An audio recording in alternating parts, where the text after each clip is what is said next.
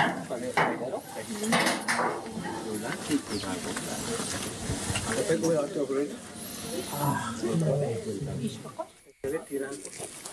Momentos de pánico y angustia se vivieron en el caserío Los Borores de la aldea Cerro Alto, en San Juan Zacatepeques, luego que un hombre de 43 años tomó un recipiente con pólvora y que por la inestabilidad del producto explotó, provocándole serias heridas y quemaduras de segundo grado. La onda expansiva alcanzó a las dos hijas de Froilán Boch Top, residente del caserío Real Wit de la localidad.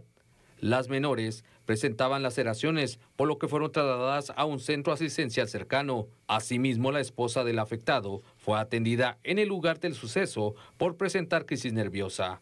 Froilán Bochtop fue llevado de emergencia al Hospital Roosevelt. La explosión dañó por completo la estructura de tres viviendas en la que se fabricaban productos pirotécnicos.